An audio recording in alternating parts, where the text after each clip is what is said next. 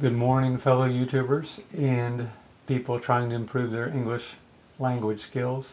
It is 8.43 m Sunday, July 1st, 2018 here in Virginia. Happy July. And today we're going to discuss some English homonyms. And a homonym is a word that, it's two words actually that have the same spelling, but completely different meanings. And there's a lot of them in English and you need to learn a lot of them. And that's what makes English really interesting, but at the same time, there's a lot of words, so it's it's a lot of work as well. It can be difficult at times, but uh, you know, anything worth doing is is a challenge. But the word today is current, and that's spelled C-U-R-R-E-N-T. There's double R in the middle, and it can be an adjective or a noun. And as an adjective, you will hear current used as say the current trend. Uh, the, for example, the the current trend is for millennials to remove their rugs in their home and put in hardwood floors.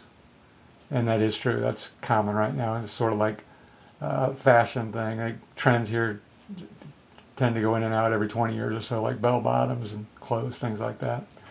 They come and go. And uh, now as a noun, you might hear the term current as uh, a body of water. Okay? Uh, and so you might say, wow, look at the current in that stream is really strong. Don't try to cross it. Okay? Now there's another type of current as well, and that involves electricity. And um, you might say the current in that power line is really strong. You wouldn't want to touch that power line. Okay? So you can see there's right there, there's three different things, and there's a couple more things to keep in mind. Currently, adding an ly to the end would make it an adverb okay? And um, one other term where you hear current a lot in America and in English is current events. Uh, do you read the newspaper to keep up with all the current events? That's probably where you hear that word the most when I really think about it uh, from, you know, from a, on a day-to-day -day perspective. Okay? Well, that's all for now.